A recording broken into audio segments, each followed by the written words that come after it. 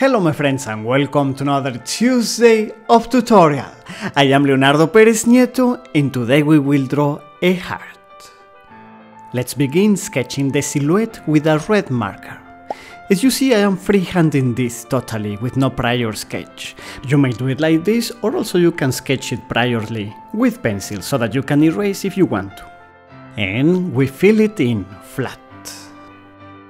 Then with a dark purple pencil, I go over the edges to create a shade or a dark reflection where the glass turns.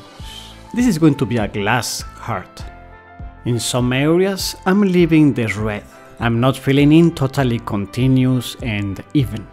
That's because we want to create different types of reflections, of course. You may want to do some shading like this, more or less following the shape that you want, uh, like it's a bit rounded on top. And uh, we have made darker reflections. Let's make a lighter one over here with a light orange. And with a white pencil, an even brighter reflection over here, also following the shape.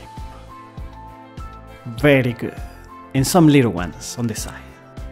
With a dark blue we can reinforce some of the darks. By the way, I'm making this with a lot of love for my wife. I think I will use it as a card and write something on the paper. Wish me luck for the inspiration for that.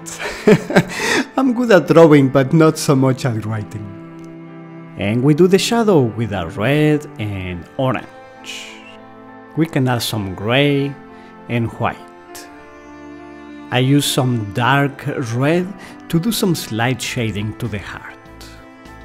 And I will make the shadow a bit bigger, wider. I think that would look better. Sometimes it is tricky when you are drawing with color pencils to do the shadow, especially the edge, eh, so that it comes slightly blurred, as it should be. What I did in this case to solve that was to draw with white on the edge of the shadow. That softened it a little bit and I think it looks alright. With the purple I widen a little bit uh, the reflection on this side. The list of materials is in the information below the video, in the description of the video.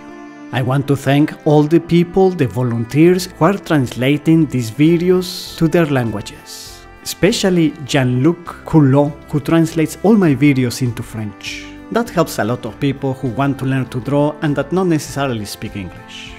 If you would like to translate, please see the instructions also in the description of the video. Very good, excelente, and it's ready.